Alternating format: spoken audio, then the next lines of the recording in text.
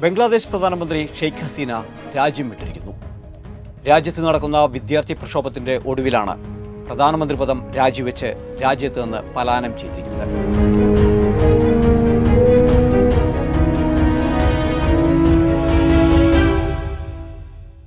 കഴിഞ്ഞ കുറേ കാലമായി ഷെയ്ഖ് ഹസീനയ്ക്കെതിരെ രാജ്യത്ത് ഭരണവിരുദ്ധ വികാരം ശക്തമായിരുന്നു.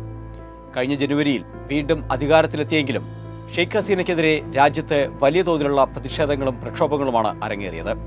അതിൽ ഏറ്റവും ശ്രദ്ധേയമാണ് വിദ്യാർത്ഥി പ്രക്ഷോഭം. ആയിരത്തി തൊള്ളായിരത്തി എഴുപത്തിയൊന്നിൽ ബംഗ്ലാദേശ് സ്വാതന്ത്ര്യമായത് മുതൽ മുപ്പത് ശതമാനം സംവരണത്തിൽ സ്വാതന്ത്ര്യ സമര സേനാനികളുടെ മക്കൾക്കുമുണ്ട് സംവരണം.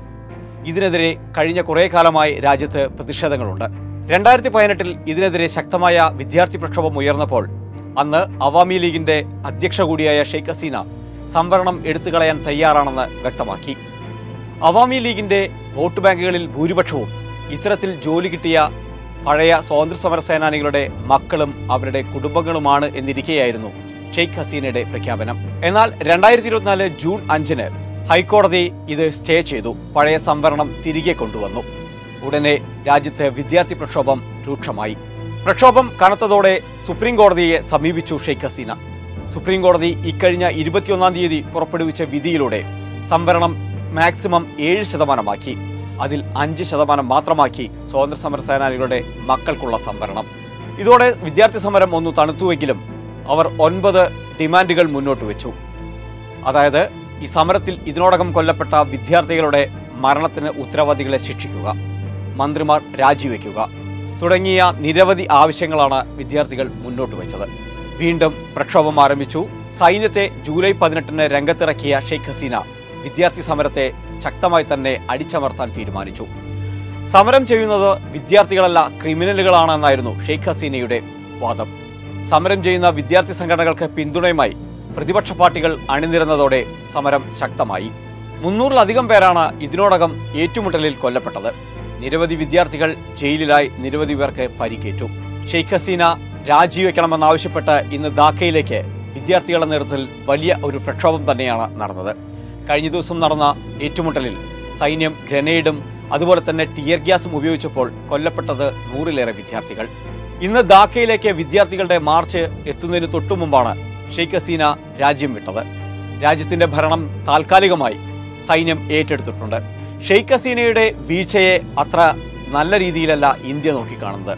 എല്ലാ കാലത്തും ഇന്ത്യയുമായി അടുത്ത ബന്ധം പുലർത്തിയിരുന്ന നേതാവാണ് ഷെയ്ഖ് ഹസീന. എടുത്തു പറയണത് ബംഗ്ലാദേശിനെ കൈപ്പിടിച്ചുയർത്തിയ നേതാവ് കൂടിയായിരുന്നു ഷെയ്ഖ് ഹസീന എന്നതാണ്.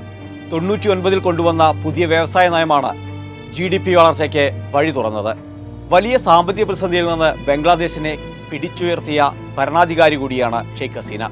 പക്ഷേ ഷെയ്ഖ് ഹസീനയുടെ കാലത്ത് അഴിമതികളും അതുപോലെ തന്നെ തൊഴിലില്ലായ്മയും രാജ്യത്ത് രൂക്ഷമായി എന്നതാണ് കണക്കുകൾ സൂചിപ്പിക്കുന്നത്. രണ്ടായിരത്തി ഇരുപത്തിരണ്ടിൽ നാല് പോയിന്റ് ഏഴ് ശതമാനമായിരുന്നു ബംഗ്ലാദേശിലെ തൊഴിലില്ലായ്മ നിരക്ക് എങ്കിൽ രണ്ടായിരത്തി ഇരുപത്തി മൂന്നിൽ അത് അഞ്ച് ദശാംശം പൂജ്യം ഏഴ് ശതമാനമായി ഉയർന്നു.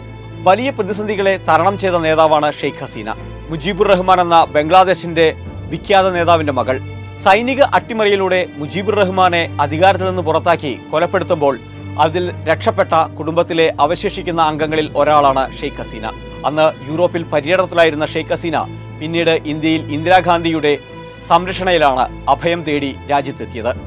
ഇന്ത്യയിൽ തുടരുമ്പോഴാണ് അവർ അവാമി ലീഗിന്റെ ദേശീയ പ്രസിഡന്റ് ആകുന്നത്. പഠനകാലത്ത് തന്നെ വിദ്യാർത്ഥി രാഷ്ട്രീയത്തിൽ സജീവമായിരുന്ന ഷെയ്ഖ് ഹസീന അങ്ങനെ രാഷ്ട്രീയത്തിലും തിളങ്ങാൻ തുടങ്ങി. ഏറ്റവും കൂടുതൽ കാലം ബംഗ്ലാദേശിന്റെ ഭരണാധികാരിയായിരുന്ന നേതാവും ഷെയ്ഖ് ഹസീനയാണ്. ഏതാണ്ട് ഇരുപത് വർഷത്തോളം.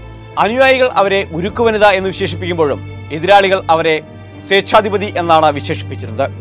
കഴിഞ്ഞ തെരഞ്ഞെടുപ്പിൽ ജമാഅത്തെ ഇസ്ലാമി അടക്കമുള്ള രാഷ്ട്രീയ പാർട്ടികൾ തിരഞ്ഞെടുപ്പിൽ നിന്ന് മാറി നിന്നു.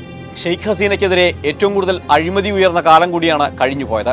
ഷെയ്ഖ് ഹസീനയുടെ വീട്ടിലെ ഒരു ജോലിക്കാരന് തന്നെ കോടികളുടെ സ്വത്ത് സമ്പാദിച്ചുവെന്ന വാർത്തകൾ പുറത്തു വന്നതോടുകൂടി ഷെയ്ഖ് ഹസീന എത്രത്തോളം സമ്പാദിച്ചിരിക്കുമെന്ന ചോദ്യമായിരുന്നു മാധ്യമങ്ങൾ ഉയർത്തിയത്. ഇടക്കാല സർക്കാർ രാജ്യത്ത് നിലവിൽ വരുമെന്നാണ് സൈന്യം അറിയിച്ചിരിക്കുന്നത്. പക്ഷേ അതുവരെയെങ്കിലും സൈന്യത്തിന്റെ നിയന്ത്രണത്തിലായിരിക്കും ബംഗ്ലാദേശ്.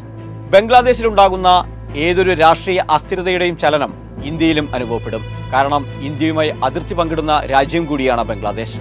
ഇനി എന്താണ് ആ രാജ്യത്തിനെ കാത്തിരിക്കുന്നത് എന്നാണ് ലോകം ഉറ്റുനോക്കുന്നത്. സൈനിക ഭരണത്തിന് കീഴിൽ പോവുകയാണെങ്കിൽ മനുഷ്യാവകാശങ്ങളെല്ലാം തന്നെ ലംഘിക്കപ്പെടുമെന്ന ആശങ്കയും ലോകരാജ്യങ്ങൾക്കുണ്ട്.